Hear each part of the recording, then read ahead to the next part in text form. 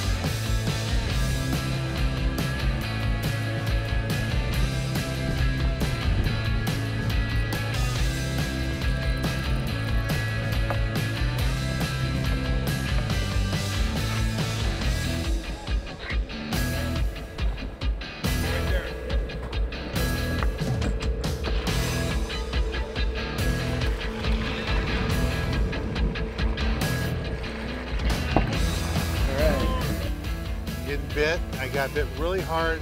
Don't know if they ate the squid, cut squid, or the anchovy. Just fishing 30 pound spectra right on the bottom. And have a piece of 30 pound mono attached to it. Oh, here's my fish. Nice sheephead. Nice. Nice. It looks like I got it on the squid. This is a sheephead. If you've never seen one, this is the only fish in the Pacific Ocean that changes sexes. And uh, right now this one's a female. And you'll see the males that I have a lot of black and white in it. And uh, that's a male. This is a female right now. Nice fish, nice legal fish. All right, let's take a little break from the action here aboard the Gale Force and go to the tackle box and show you the gear we're using for today's trip.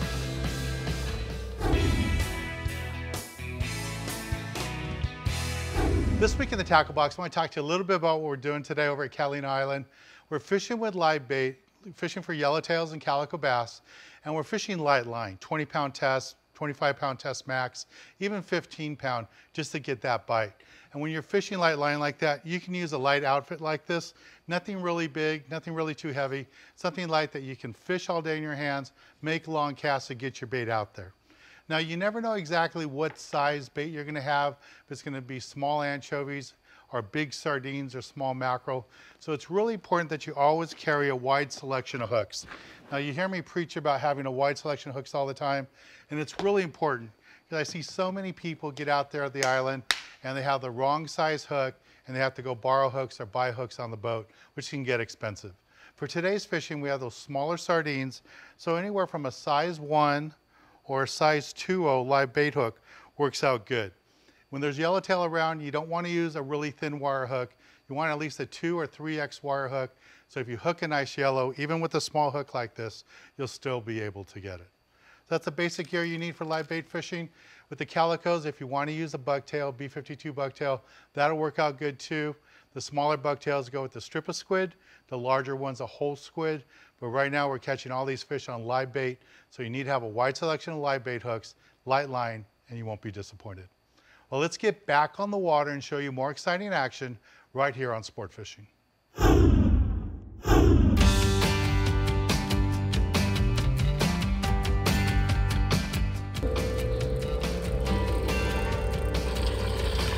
Had a nice bite off the bottom. You don't have to go really fast, Larry. Just nice and easy. Calico bass. There you go. Oh, yeah. Might be legal. All right, calico bass.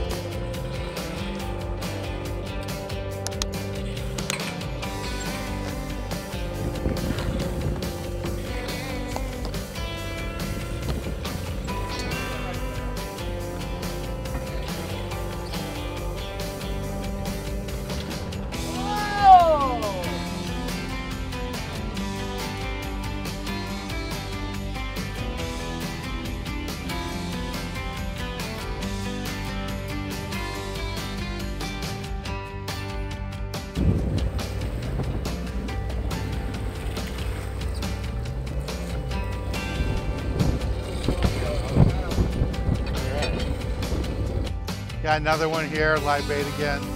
Just fishing light line, 20 pound test. I know for a lot of you that isn't light, but uh, 20 pound test here at the island, fly lining, and just using just a really simple technique. Uh, a real small sinker, just a quarter ounce sinker, and a size two hook, a small hook. I know for a lot of people that seems like too small of a hook, but really we're just kind of match the hook to the size of the bait. Today we just have anchovies. Here comes my fish right here. Looks like a calico bass. There comes. There he is. So you can see right here, here's my anchovy. And then there's the hook, just barely hooked there. Just barely got him right there. And then that little tiny sliding sinker. The fish is small, but you know, we're out here and tough fishing. You got tough conditions like we had today here with lots of wind, lots of swell. You take whatever opportunities you get. If you see people not catching fish on the heavier lines, drop down to 20 pound or 50 pound. Go with the small hook to match the bait, and you catch fish like this. Granted, you can't keep this fish, you're gonna let it go. It's a lot more fun to hook them and land them than you can just release them. And in between, you're gonna get some legal fish too. All right, let's take a little break from the action and go ahead and release this one right now.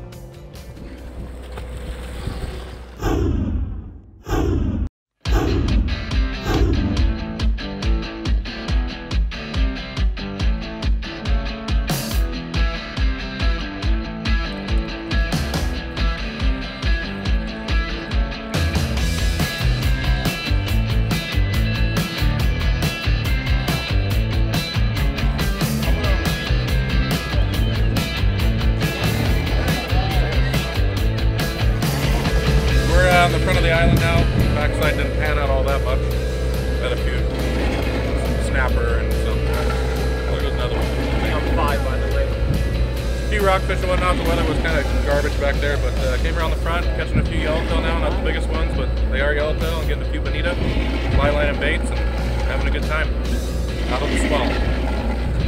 Got it. You got it there, there. Go. Oh, There's the yellowtail right there, color. Oh, sorry, sorry. Lift it up. Wow. Good job. Sashimi. No, that was me. Someone just gave me that. So nice. wow. Bite?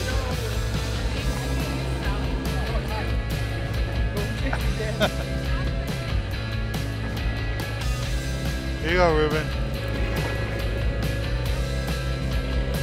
Stay right there, stay right there. You got him going in the corner. This is Ruben. He's out here with the, the charter today. And he's got a bonita coming up. His first bonita of the day.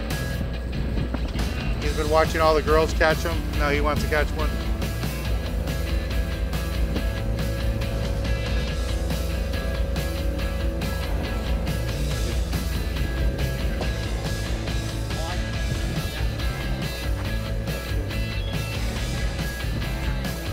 There you go. Get in the boat. There you go. Yeah.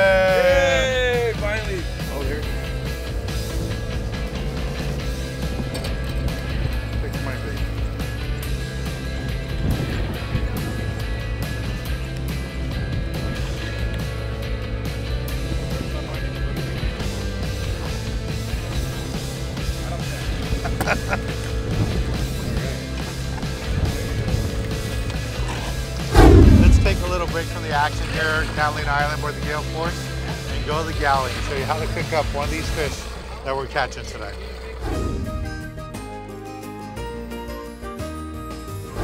This week in the galley, we're back in West LA at Red O Restaurant. Standing next to me is executive chef of the Red O Restaurant, Chef Anthony. Hey, Chef. Hey, how you doing? Good.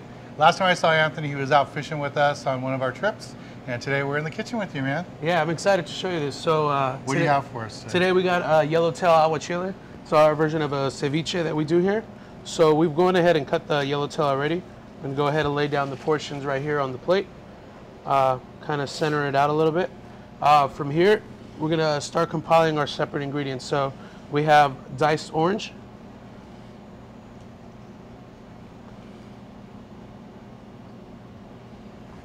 There, we're gonna go to our avocado.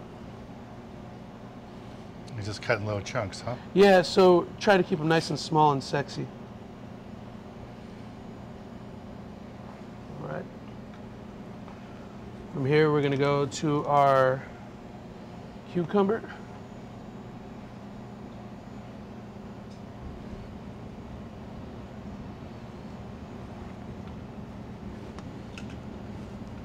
Then some serranos for some heat. Yeah, it seems like every dish you make has some sort of heat. It's a good balance. Yeah, I like that, though. You can never have too much chili. And then we do uh, have uh, Mexican knob onions here at the restaurant. So we went ahead and cut them into a ring just to add a different sort of eye appeal to the dish.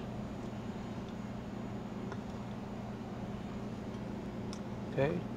Finish off with a sprinkle of cilantro microgreens around.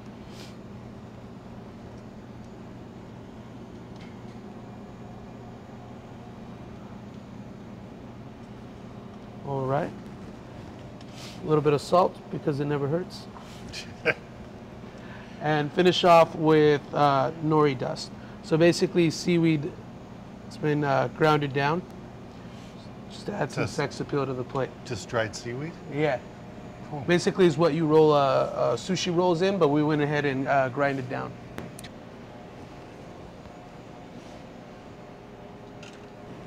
So this is brought out to our guests, and table side we pour our Serrano lime juice, just enough to start the curing process of the fish at the table.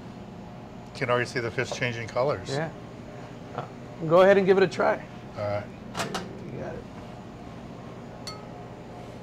Yellowtail. You gotta get a chili.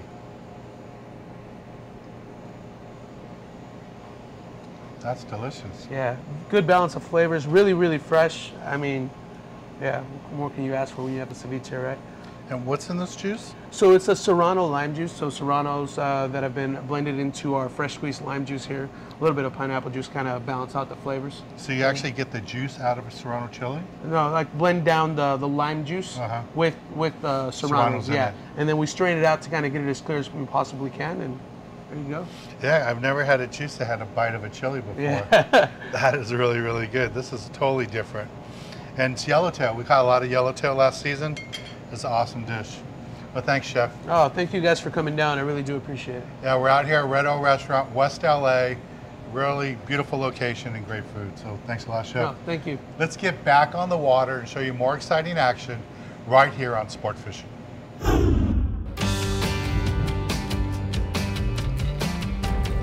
Keep them on that side.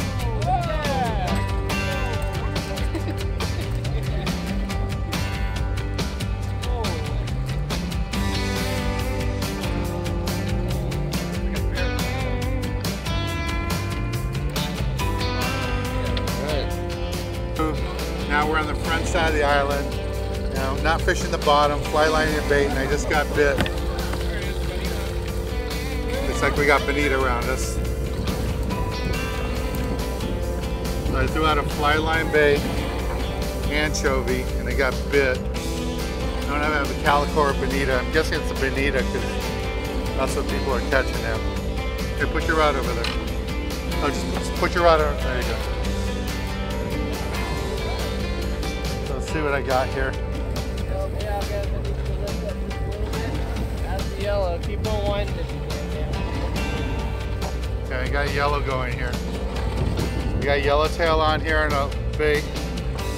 They're trying to work my line free. You grab Ryan, a gaff, Ryan. Ryan. We got a yellow right here.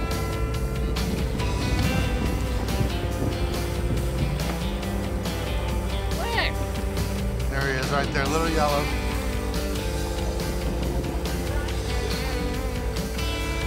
Side. Whoa. Got my light? Want me to gaff it?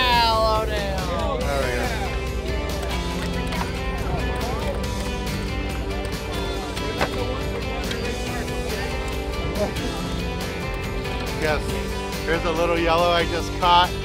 This fly lining uh, live anchovy. Skipper made the move, like I said, to the front side of the island. It's pretty lumpy out there on the back. We're catching little rockfish. So I fly line uh, anchovy with a mustad live bait hook, a size two hook, a small hook. You got this nice, nice little yellowtail. Not a big fish, but it'll taste delicious.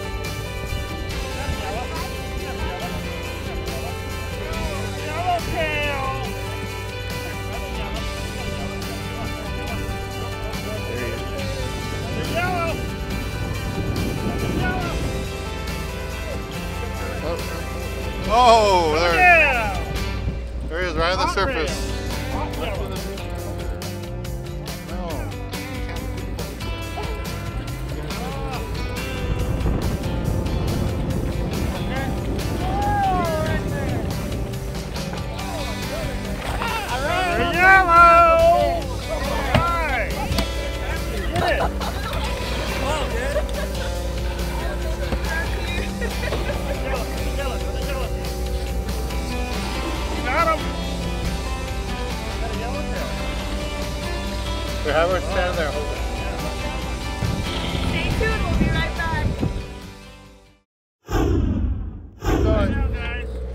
Keep going, keep going, keep going, keep going, keep oh, going. Keep going, keep going, get all the way in the corner. There you go. Oh, Keep walking, keep walking all the way down. Peter, come over. This way, Peter.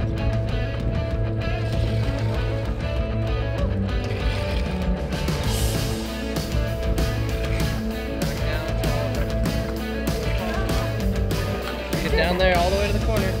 You gotta be fast. Let her follow her light. Keep going, keep going, keep going. Walk down, walk down now. Walk down, walk down. Walk. down. Come over, you're gonna get the way to props. corner. Go, go. Go, go, go, go, go, go, go.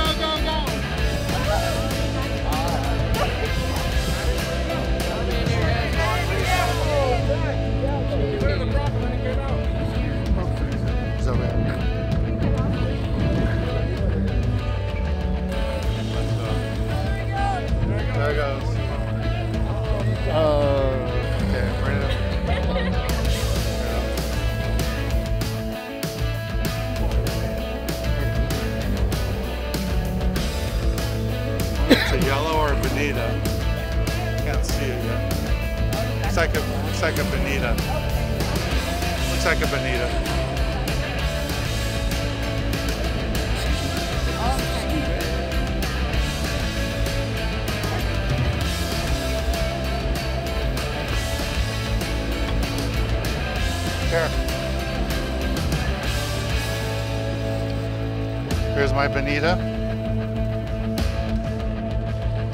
There's a bonita, and I just got that on that live bait hook.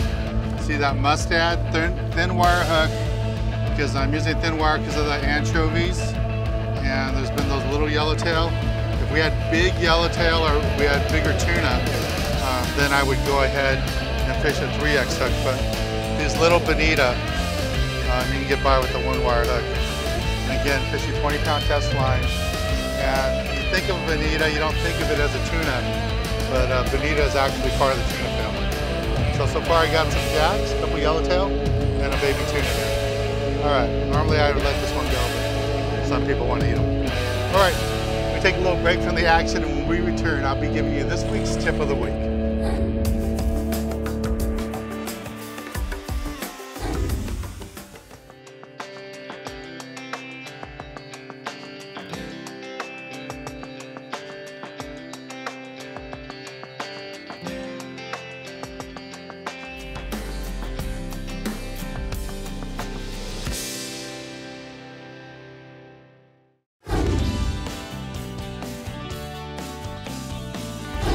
This week's tip of the week, I want to talk to you a little bit about how we caught all this bonita and yellowtail. And it was really important to use a small hook. And because of the baits we're using, I went with a size 2 mustad live bait hook with a quarter ounce sinker. Again, the tip is when you have small baits, use a small hook and fish that light line too.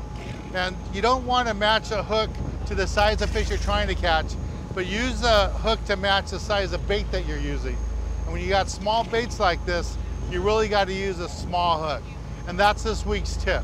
Small hook when you have small baits and you'll catch nice fish like those big bonita and yellowtail that I got today. Well, we had a lot of fun fishing aboard the Gale Force today. I hope you enjoyed it.